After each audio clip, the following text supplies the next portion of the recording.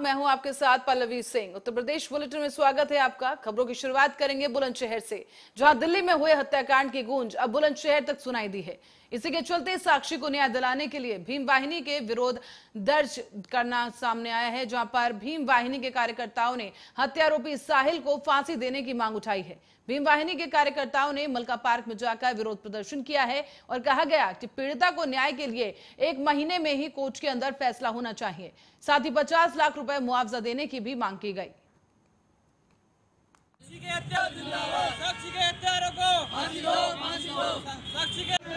दिल्ली के अंदर साक्षी एक दलित लड़की थी 16 वर्षीय बच्ची को वहाँ के एक साहिल ने चाकू से गोद कर उसकी निर्मम हत्या कर दी। 40 चाकुओं से गोदा, उसे 40 जगह उसके शरीर में चाकू हैं। उसके बाद जब वो बच्ची मर गई है, तब भी उसे भी इतना नहीं हुआ कि बच्ची खत्म हो गई। पास में पड़े पत्थर को, आठ बार उसने उस बच्ची के ऊपर पत्थर मारा है। आज उस हत्यारे को हम फांसी की सजा दिलाने के लिए अपना प्रदर्शन कर रहे हैं और वो हत्यारा दिल्ली से बचकर बुलंद शहर में आकर अटेना गाँव में थाना पहासू में छिप जाता है और वहाँ इस वजह से आकर छिपा कि उसकी यहाँ जान सुरक्षित है। लेकिन हम दिल्ली पुलिस से ये मांग करते हैं कि पीड़ित परिवार की सुरक्षा की जाए और उसके परिवार के लोगों को पचास लाख रुपए दिए जाएँ और इस मुकदमे को एक माह में पूरा निर्णित किया जाए और उसे फांसी की सजा दी जाए। दिल्ली के अंदर साक्षी एक दलित लड़की थी।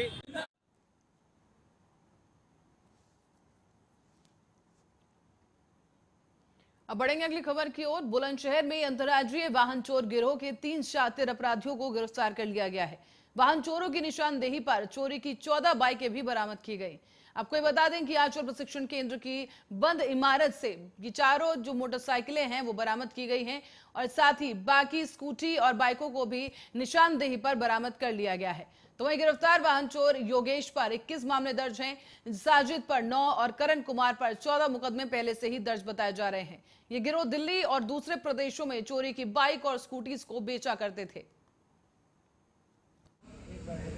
हम लोगों की टीम्स लगातार जो बाइकें चोरी हो जाती हैं, उन पर काम कर रही थी। इसी के अंतर्गत कोतवाली देहात की जो टीम है स्पेशली एसओजी ये लगातार इस पे काम कर रहे थे। इन्हें एक बुकविट से सूचना मिली थी, जिस, जिसके निशानदेही पे इन्होंने तीन बाइकें बरामद की। जब उन लोगों को हिरासत में लिया गया, उसमें मेन अभियुक्ता था योगेश योगेश्वर प्लाला, जो पहले भी चोरी के अपराध में जेल जा चुका है, नई मंडी चौकी से ही पिछले साल।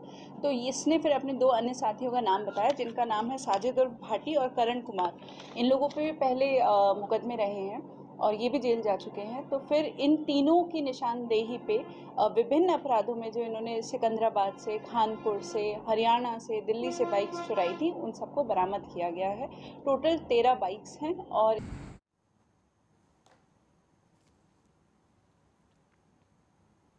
गाजियाबाद में जीडीए के द्वारा लगातार कार्रवाई जारी है और इस बीच आपको ये बता दें कि लगातार जीडीए की कार्रवाई से अब खौफ का आलम देखने को मिल रहा है। अवैध रूप से बसाई जा रही कॉलोनियों का ध्वस्तीकरण हो रहा है और उसके बाद चेतावनी भी पुलिस की तरफ़ से जारी की गई। मुरादनगर में फ़िलहाल कई कॉलोनियों को जीडीए के बुलडोजर ने ध्वस्त कर दिया है। कॉलोनाइजर के द्वारा कृषि भूमि पर अवैध प्लॉटिंग कर जनता को ठगने के खिलाफ अब प्रशासन एक्शन मोड में बना हुआ है।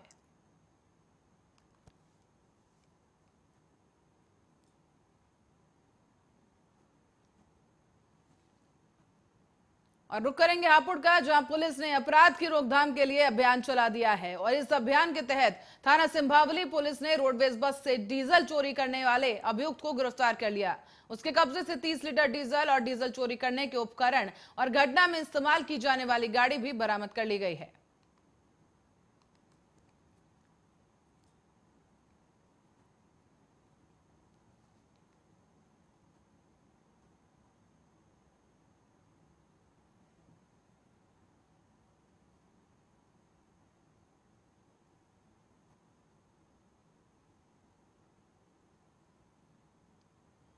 भारतीय जनता पार्टी के केंद्र में नौ साल पूरे होने पर भारतीय जनता पार्टी के वरिष्ठ नेताओं की तरफ़ से 30 मई से 20 जून तक के लिए नौ साल बेमिसाल की तर्ज पर जनता के बीच जाकर उपलब्धियों को बताने के लिए कार्यकर्ताओं को प्रेरित किया जा रहा है। इसी के मद्देनजर आज झारखंड के पूर्व मुख्यमंत्री रघुवर दास ने सदर सांसद रवि किशन के साथ मिलकर संयुक्त रूप से सर्किट हाउस में स्थित एनएक्सी भवन में प्रेस वार्ता की। इस प्रेस वार्ता के दौरान उन्होंने प्रधानमंत्री नरेंद्र मोदी द्वारा किए गए कार्यों की सराहना भी कर दी है। साथ ही ये बताया गया है कि जनता के बीच कार्यकर्ता जाकर 9 साल की अपनी उपलब्धियों को गिनाएँगे। साथ ही साथ आपको बताते चले कि आगामी 2024 के चुनाव में एक बार फिर से भारतीय जनता पार्टी को केंद्र में सरकार बनाने के लिए प्रेरित किया जाएगा। आइए जानते हैं क्या कुछ कहा गया इस प्रेस वार्ता के दौरान।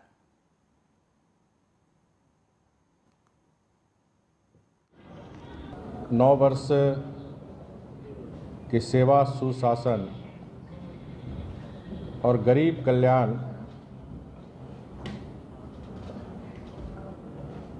ये नौ वर्ष के भारत के बदलाव के स्वर्णिम काल के वर्ष। आज भारत हर प्रक्षेत्र में एक नए भारत, एक आत्मनिर्भर भारत की ओर बढ़ रहे हैं इन नौ वर्ष में हमारे देश के आदरणीय प्रधानमंत्री मोदी जी गरीबों के प्रति जो उन्होंने 2014 में पार्लियामेंट को प्रणाम करते हुए उन्होंने देश की जनता को आश्वस्त किए थे कि हमारी सरकार गरीबों के प्रति समर्पित सरकार है। 2014 के पहले का भारत हम सब जानते हैं। न इंफ्रास्ट्रक्चर था, न रोज़गार था, न रेल की व्यवस्था थी, न एयरप्लेन की व्यवस्था थी, न ठीक से एयरपोर्ट्स थे, न जीवन था, न सम्मान था। क्योंकि मैं विदेशों में भी फ़िल्मों की शूटिंग करता रहा तो मुझे पता है कि किस तरह से भारतीय लोगों को देखा जाता था 2014 के पहले।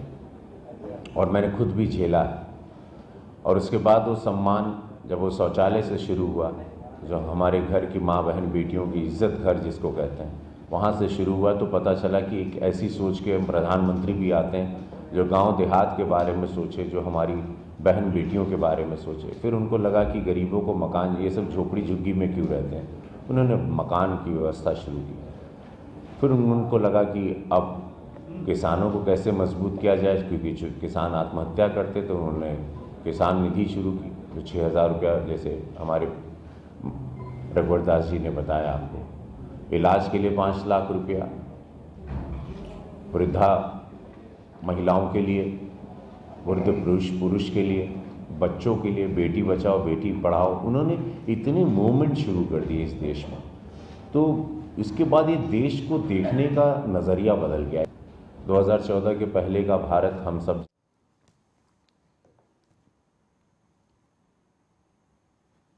और अब बढ़ेंगे अगली खबर की ओर। खबर मुरादाबाद से है, जहाँ शिवसेना के कार्यकर्ताओं ने जिलाधिकारी मुरादाबाद से मुलाकात कर स्मार्ट सिटी के नाम पर व्यापारियों का उत्पीड़न करने का आरोप लगाया है।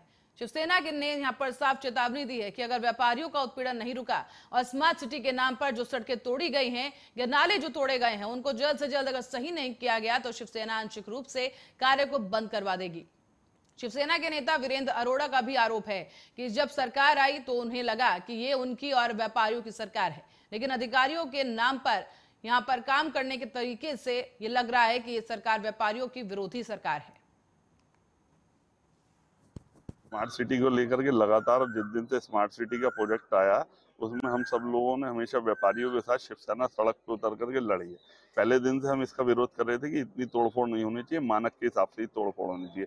तोड़फोड़ हुई व्यापारियों ने उसको भी स्वीकार कर लिया कि चलो स्मार्ट सिटी के नाम पर। लेकिन आज स्थिति ये है कि आप स्टेशन इंपीरियल से लेकर के और बुधवार की स्थिति ये हुई हुई है कि हम निकल नहीं सकते। सिलेट निकल रही है अगर अंदर नाले की या मट्टी है या खुदाई है, उसका काम किसी भी तरह से अपूर्ण पड़ा हुआ आने वाले समय में बारिश आने वाली है। बेसमेंटों से लेकर व्यापारी के घर तक पानी भर जाएगा, चढ़ने की जगह नहीं है, व्यापारी उत्पीड़ित हो रहा है। इस सरकार में व्यापारी ये मान रहा था कि हमारी सरकार है, लेकिन हम ये मानते हैं कि व्यापारियों की सरकार ना होकर के अधिकारियों की सरकार है और अधिकारियों से हम बार बार आग्रह कर रहे हैं, अगर इसमें इस तरह का काम नहीं हुआ तो शिवसेना इसमें बंद भी कराएगी, इस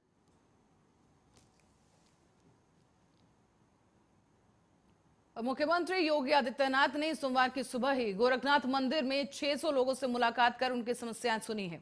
सभी को आश्वस्त किया गया कि सबकी समस्याओं का निस्तारण करना उनकी सरकार की प्रतिबद्धता है और मुख्यमंत्री ने लोगों की समस्याओं से संबंधित प्रार्थना पत्र लेकर उसे अधिकारियों को दिया है। साथ ही अधिकारियों को निर्देशित किया गया और हस्तागत किया गया कि समयबद्ध, गुणवत्तापूर्व और संतुष्टि पारा का निस्तारण सुनिश्चित किया जाए।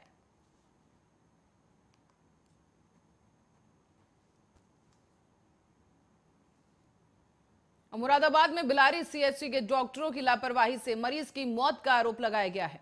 दरअसल मरीज़ प्रवेंद्र सिंह को एक दिन पहले ही सांस लेने में कुछ दिक्कत हुई, जिसके बाद सीएचसी बिलारी में इमरजेंसी वार्ड में उसे भर्ती कराया गया। गंभीर हालत के चलते मरीज़ का इलाज वहाँ पर हुआ और परिजनों ने अब यह आरोप लगा दिया है कि डॉक्टर समय पर नहीं पहुँचे और सीएससी बिलारी के वार्ड बॉय ने मरीज़ का इलाज किया। परिजनों का यह भी आरोप है कि मरीज़ का इलाज करने वाला कोई प्रोफेशनल डॉक्टर ना होकर के वहाँ का एक वार्ड बॉय था। और सूचना मिलते ही मौके पर पहुँची पुलिस ने इस पूरे प्रकरण पर जाँच शुरू कर दी है। ये एक भी मरीज़ वो इरिटेट इसलिए है कि वो एंबुलेंस से उसको डेड बॉडी को घर छोड़वाना चाह रहे थे जो कि एंबुलेंस से नहीं छोड़ा जाता है डेड बॉडी के लिए अलग गाड़ी होती जो यहाँ हमारे यहाँ अवेलेबल नहीं होती है। वो नहीं मिला इससे वो ज़्यादा नाराज़ हैं। इरिटेट। चाचा है हमारे जो इनको यहाँ पे इनकी तबीयत तो खराब चली थी एक दो दिन से पर आज इनको जो थोड़ा सांस आने में दिक्कत हो रही थी ज़्यादा कुछ। तो इनको अचानक से एंबुलेंस करके यहाँ यहाँ बिलारी ब्लॉक में लाए यहाँ पे। लाने के बाद में हमने हमने खुद इनको अपने हाथों से उतारा वहाँ पे भी वहाँ से भी अपने हाथों से रखा था अंदर से। लाने के बाद यहाँ लेटाया कोई डॉक्टर यहाँ पे टाइम पे मौजूद नहीं था बिल्कुल भी। क्या बजे आपने एंट्री की? लगभग दो बज के आठ मिनट पे नौ मिनट पे दस दस मिनट पे तो अंदर आ गए थे हम जो लगभग। पर आने के बाद में डॉक्टर आए कोई भी डॉक्टर यहाँ अवेलेबल नहीं था बिल्कुल भी। कॉल करने के बाद बोल रहे वो बार बार भाग रहे हैं जो जा रहे थे लगे कि डॉक्टर साहब बुला लो डॉक्टर साहब बुला लो। एक बॉर्ड था वो झूठ बोला था मैं ही डॉक्टर हूँ। उसके चक्कर में इनको उनसे नेटे लगानी नहीं आती कम से कम जो बोतल लगाने नीडे होती है दस बार उन्होंने पिन छेद दी उसके और वो बार बार रोक के कर रहे थे उनकी सांस घुट रही थी बार बार सांस नहीं आई थी उनसे रायबरेली में विश्व पर्यावरण दिवस पर आज कलेक्ट्रेट परिसर में ज़िले की प्रभारी मंत्री प्रतिभा शुक्ला और जिलाधिकारी माला श्रीवास्तव ने औषधि वाटिका में लौंग, इलायची, कपूर, अजवाइन के औषधीय पौधे लगाए हैं। और साथ ही उन्होंने संकल्प लिया है कि धरती को बचाना है। प्रभारी मंत्री ने कहा है कि पेड़ों के बिना धरती पर जीवन की कल्पना नहीं की जा सकती। ये भी कहा गया कि सभी को पेड़ लगाने चाहिए। औषधि वाटिका में औषधि युक्त पेड़ लगाते समय जिला प्रशासन के सभी अधिकारी वृक्षारोपण कार्यक्रम में सम्मिलित हुए। हम ये कहना चाहते हैं कि वास्तव में हरियाली रहने से हमारा स्वास्थ्य भी स्वस्थ रहता है, मन भी प्रसन्न रहता है और जलवायु भी स्वस्थ रहती है। हर व्यक्ति को वृक्ष ज़रूर लगाना चाहिए, जिससे कि हमारा जीवन आनंदित रहे और स्वास्थ्यप्रद रहे। हम सभी लोग मिलकर एक साथ वृक्षों से शिक्षा लें कि हर व्यक्ति जो वृक्ष होता है वो निष्पक्ष भाव से सबको छाया और फल देता है। ऐसे मनुष्य के जीवन में भी हमेशा निष्पक्ष भाव होना चाहिए जिससे सभी को राहत और छाया मिल सके। मैम यहाँ कौन सी वाटिका बनाई गई ये औषधि वाटिका बनाई है और इसमें सब औषधियों के पेड़ लगाए गए इलायची है हींग है अजवाइन है और सारे वृक्षों को लगाया और भी अच्छे अच्छे लगाए जाएँगे अभी। हम ये बुलंदशहर में अंतर्राज्यीय वाहन चोर गिरोह के तीन शातिर अपराधियों को पुलिस ने गिरफ़्तार किया है। उनकी निशानदेही पर 14 बाइकें बरामद कर ली गई हैं और फ़िलहाल पुलिस ने पकड़े गए चोरों पर विधिक कार्रवाई करते हुए उन्हें जेल भेज दिया है।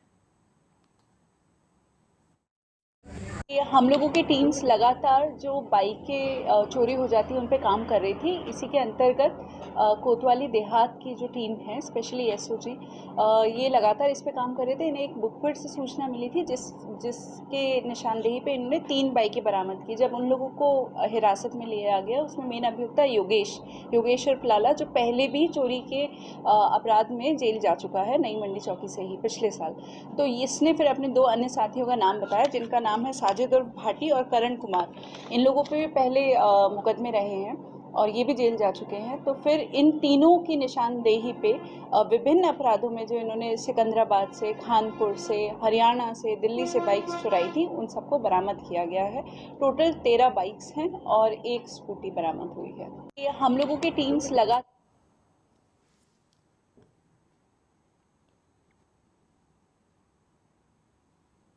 हापुड़ में पुलिस ने मोबाइल लूट और चुनौती करने वाले गिरोह का पर्दाफाश करते हुए गिरोह के तीन शातिर सदस्यों को गिरफ़्तार कर लिया है। इनके कब्जे से लूट और चुनौती किए गए 26 मोबाइल फ़ोन, नकदी और घटना में इस्तेमाल की गई मोटरसाइकिल बरामद कर ली गई है। गिरफ़्तार अभियुक्तों को वो बताया जा रहा है कि शातिर किस्म के वो अपराधी हैं, जिनके द्वारा फ़ोन पर बात करते समय रागीरों से उनके मोबाइल फ़ोन छीन लिए जाते थे। श्रीमान पुलिस अधीक्षक महोदय के निर्देशन में जनपद में हो रही मोबाइल की लूट के लिए एक टीम गठित कर उनके अनावरण के लिए कार्रवाई की जा रही थी, जिसमें थाना गढ़ मुक्तेश्वर की पुलिस ने एक मेरठ का सातिर अपराधी है जो कि लूट करता है, जिसका नाम है सलमान पुत्र याकूब, जो कि निवासी थाना लिसाड़ी गेट मेरठ का है। और उसके दो साथी हैं, मुदस्सिर पुत्र यामीन, लिसाड़ी गेट मेरठ के, और फरदीन पुत्र फयूम, ये गढ़ मुक्तेश्वर हापुड़ का है। इन तीनों को गिरफ़्तार किया है दौतई नहर पुल के पास से। और हमें इन, इन इनका आपराधिक इतिहास जब जांचा तो हमें मेरठ हापुड़ और गाजियाबाद आसपास के इनके 60 से अधिक मुकदमे हैं और खुद हमारे पास हमारे गढ़ थाने में एक मुकदमा अपराध संख्या एक सौ पिचासी बटा तेईस और एक मुकदमा अपराध संख्या दो सौ पैंतालीस बटा तेईस। दोनों तीन सौ बानवे आई पी सी के दर्ज हैं। तो इन दोनों घटनाओं में लूटे गए दो मोबाइल हमें बरामद हुए और साथ ही हमें 24 और यानी कुल 26 मोबाइल बरामद हुए हैं और आज पूरे देश में विश्व पर्यावरण दिवस के अवसर पर पौधारोपण किया जा रहा है। साथ ही साथ लोगों को जागरूक भी किया जा रहा है। आपको बता दें कि इसी के चलते आज जनपद में भी विश्व पर्यावरण दिवस के अवसर पर कई कार्यक्रमों का आयोजन किया गया है। इस दौरान लोगों को पर्यावरण संरक्षण की शपथ दिलाई गई है और जगह जगह पौधारोपण कर लोगों को पौधारोपण के लिए प्रेरित किया गया। इसी के चलते अकबरपुर में बारह गाँव में नेशनल हाईवे प्रशासन के द्वारा बृहद तरीके से वृक्षारोपण कार्यक्रम का आयोजन किया गया है। इस दौरान नेशनल हाईवे से जुड़े अधिकारियों ने टोल परिसर में खाली पड़े मैदानों पर वृक्षारोपण किया।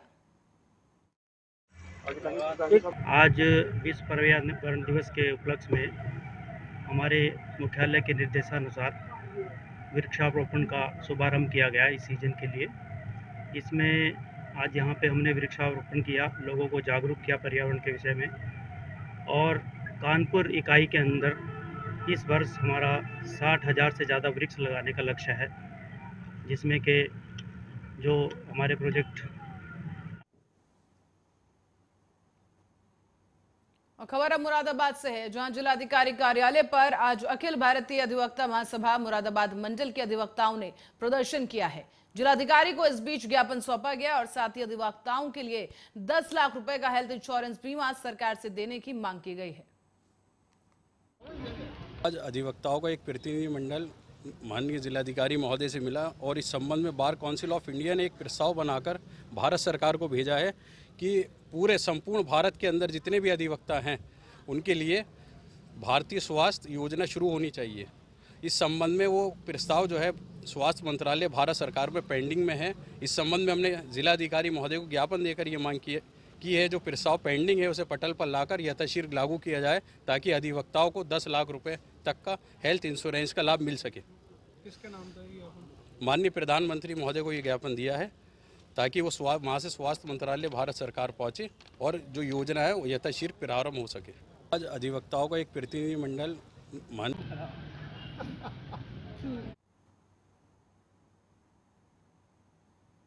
मुरादाबाद में सरकारी राशन के कट्टे पट्टी करते हुए वीडियो सोशल मीडिया पर वायरल हो गया है। बताया जा रहा है कि मुरादाबाद के तहसील बिलारी मोहल्ला शांतिपुरम से ये मामला सामने आया है। इसमें साफ़ देखा जा सकता है कि किस तरीके से बंद मकान के अंदर सरकारी राशन का कारोबार चल रहा है। यहाँ देख सकते हैं कि कई लोग यहाँ पर खड़े हैं और ये एक बंद मकान है, जिसके अंदर ये कालाबाजारी चल रही है। और बंद मकान के अंदर सरकारी राशन का ये कारोबार है, जो कि ये कुछ नुमाइंदे चला रहे हैं। यहाँ पर सरकार की योजनाओं और मंशा पर अधिकारी और जिम्मेदार अधिकारी खास तौर पर पलीता लगाते हुए देखे जा रहे हैं। ये कट्टा आप देख सकते हैं, वीडियो में जो दिखाया गया है, ये एक सरकारी राशन से जुड़ा होने का कट्टा है, जो साफ़ दिख रहा है यहाँ पर।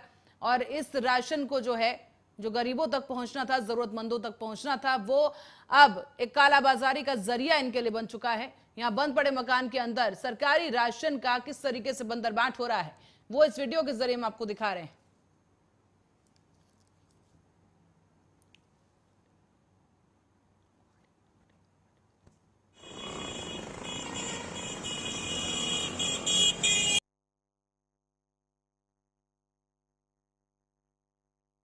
पर अधिक जानकारी के लिए दानवीर सिंह हमारे मुरादाबाद से ब्यूरो हेड जुड़ गए हैं, उनसे जानेंगे। दानवीर, कब का ये वीडियो बताया जा रहा है और क्या कुछ ज़्यादा अपडेट और जानकारी आपके पास है इस वीडियो को लेकर? देखो पहले मैं आपको बता दूँ, मामला बड़ा बिलारी से सामने आया। मुरादाबाद के बिलारी तहसील के नज़दीक में ही ये मामला शांतिपुरम मोहल्ले का बताया जा रहा है। एक वीडियो सोशल मीडिया पर तीन दिन से वायरल हो रहा है, जिसमें राशन की कालाबाजारी तेज़ी से हो रही है। देखिए हम आपको ये तस्वीरों में साफ़ नज़र आ रहा है कि एक अ, बहुत मकान में अंदर बाहर से ताला लगाकर अंदर राशन की पलटी की जा रही है। लगभग जितनी भी पूछताछ की गई तो रा- मकान मालिक ने किसी अज्ञान आदमी का नाम लिया है लेकिन इस मामले में अधिकारी अभी जाँच कर रहे हैं और अभी इस थोड़ी देर पहले ही मेरी अभी जो राजस्थान विभाग जो अधिकारी होते हैं उनसे मेरी बात हुई थी तो उन्होंने भी इस मामले की जाँच की बात कही है और मामले की जाँच करने की बात कही है। लेकिन सवाल ये है कि जिस तरीके से तीन दिन पहले से ये वीडियो वायरल हो रहा है अभी तक कोई अधिकारी ने संज्ञान नहीं लिया। दानवीर क्या किसी की गिरफ्तारी अब तक हो पाई है इस पूरे प्रकरण को लेकर? जी बिल्कुल देखिए कार्रवाई की बात करें अभी कोई भी कार्रवाई नहीं की गई है। अधिकारी छान बयान की बात कर रहे हैं बातें कर रहे हैं कि कार्रवाई की जाएगी जो भी प्रशासन है उसके खिलाफ कार्रवाई की जाएगी। लेकिन जिस तरीके से बात करें तो मकान मालिक का नाम रिंकू बताया जा रहा है जिस मकान का ये मामला है और जिस मकान में ये तस्वीरें यहाँ पे वायरल हुई है वो रिंकू नाम का मकान मालिक का क्या कहना है? क्या उसे भनक नहीं थी कि उसी के घर में किस तरीके से यहाँ पर सरकारी राशन का इस तरह से कारोबार हो रहा है? देखिए बिल्कुल बिल्कुल मैं आपको बता दूँ मकान मालिक से मेरी बात हुई थी। मकान मालिक ने अपनी बात को कैमरे पे ना बोलकर मतलब अपनी बात को गोपनीय रखा गया जिसमें उस पर साफ़ ऐसा लग रहा था किसी नेता का दबाव है या फिर किसी अधिकारी की संरक्षण में चल रहा है। क्योंकि जिस तरीके से वो कैमरे पर नहीं बोले और कुछ भी बताने से इनकार किया इसलिए कहीं ना कहीं किसी चीज़ का दबाव है या फिर किसी भी बड़े अधिकारी का दबाव हो सकता है या फिर किसी नेता के संरक्षण में काला बाजारी शासन भी चल रही है जिस तरीके से बात की जाए तो वो तस्वीर वो ये बया करा रही है वो वो कट्टे सरकारी जो कट्टे इस तरीके से सरकारी दिखाई दे रहे हैं और उस पर कहीं ना कहीं राशन कितना राशन वहाँ पर इस वक्त मिला है? जब आप वहाँ पर पहुँचे हैं मकान का ब्यौरा किया गया है तो कितना राशन वहाँ पर था? वीडियो में जो वायरल किया, मालिक ने ज़िक्र किया है उसमें पंद्रह कट्टे का ज़िक्र किया है और ये पंद्रह कट्टे उसमें राशन आया था कि कब मैं सुबह सुबह की खानी ये राशन भर के आया था, उसी दौरान किसी ने सोशल मीडिया पे वीडियो बनाया और वायरल किया है। तो ये सुबह के खानी ये काला बाजारी होती है, सुबह के खान पलटी होती है। इस तरीके से कितने समय से ये काम चल रहा था, ये अभी तक कोई प्रकाश में नहीं आया है। अधिकारी इस मामले की जाँच में लगे हैं क्योंकि उप जिलाधिकारी से भी मेरी बात हुई है, उन्होंने भी जाँच की बात कही है, लेकिन अभी किसका हाथ है किसके लिए काम करते थे ये अभी कुछ भी प्रकाश में नहीं आया है। और दानवीर जो लोग इस वीडियो में नज़र आ रहे हैं ये इस वक्त कहाँ पर हैं? इनसे किसी तरह की पूछताछ अब तक हुई है क्या? देखिए मैं अभी थोड़ी देर पहले मकान की तरफ़ गया था तो मकान मालिक से दोबारा जानकारी लेने गया था देखो कोई है नहीं तो उस मकान का अभी साफ़ साफ़ ताला लगा हुआ नज़र आया था। दो तीन महिलाएँ थी वहाँ महिलाओं से बात हुई तो महिलाओं महिलाओं ने खुद को कहा था कि हमारा मकान है हमसे बात कीजिए। तो इस तरीके में महिलाओं ने बात की तो महिलाओं ने कोई भी जवाब नहीं दिया। लेकिन उन्होंने ये कहा था कि ये कोई हमसे काम कराता है। ये तरह उन्होंने बोला था, लेकिन कैमरे पे कुछ भी नहीं बोला। महिलाओं को कहना है कि हम हमसे हमारे लिए कोई काम कराता है ये तो हमारे घर में हमें किराया मिलता है। एक तरीके से पलटी होती है, ये बात तय है।